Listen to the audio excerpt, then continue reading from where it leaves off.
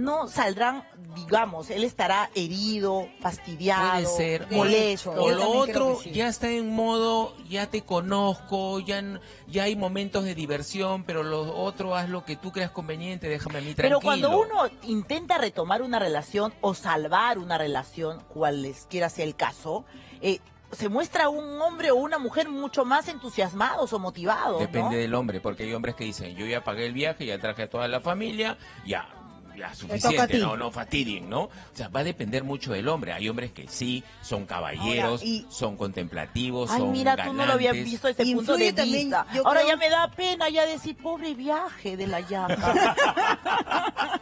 claro, porque ahí mírala con su short, así toda ella. Bonita, tan bonita ella.